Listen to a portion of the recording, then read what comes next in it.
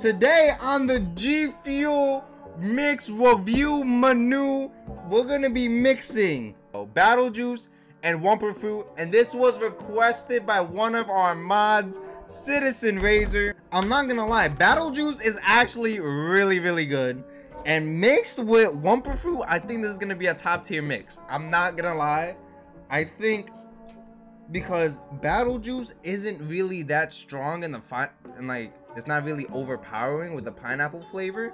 And then Wumpa Fruit, Wumpa Fruit is mango green tea. So if you love, wow, I'm on a bus. And now, no LSR G Fuel mix review will be complete without obviously the amazing immaculate water pour. Ooh. Oh. Oh! All right. That is beautiful. This is about to be crazy. That one's for you guys. That one was for you guys. This look, hold on.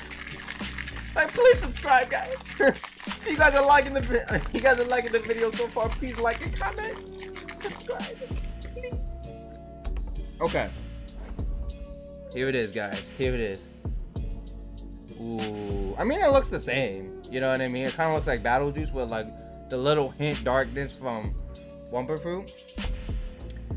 However, Citizen Razors Battle Juice Wumpa Fruit. We're gonna call this the Battle Fruit. Wow, the Battle Fruit. That's a good name right there. Battle Fruit. Here we go. Cheers, guys.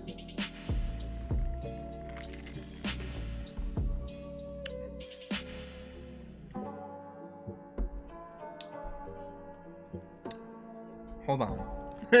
Hold on a second.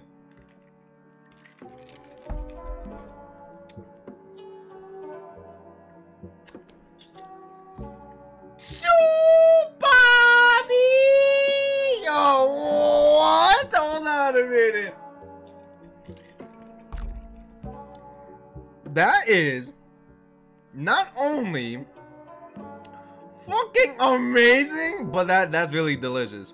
That is really delicious. So here's here's basically what happens, right?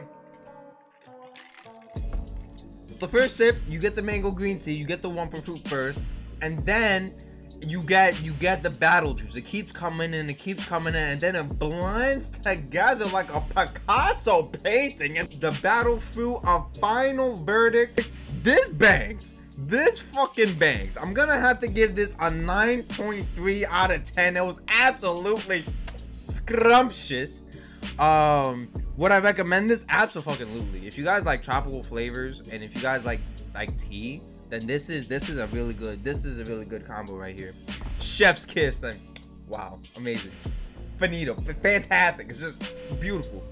But um, I definitely recommend this if you guys like tropical flavors. If you guys like green tea, definitely pick this up.